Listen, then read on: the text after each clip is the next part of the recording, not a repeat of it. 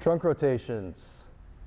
These, this exercise is going to be really good for loosening up your lower back as well as activating those core muscles, getting everything working before you get into your workout. All right. Lay on your back.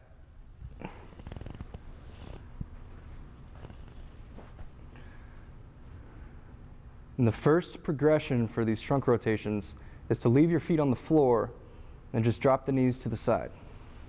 Feel a little stretch in your low back. Use the core to bring them back up. Make sure you're maintaining that pelvic tilt at the top. Rolling to the side.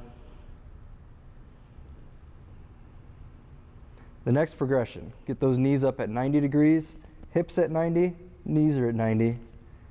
Drop into the side, arms are out into a T shape. Try to keep the knees together and only go as far as comfortable. Next progression, three quarter legs. You're only going as far down as you can, keeping your shoulders on the ground. Last progression, straight legs.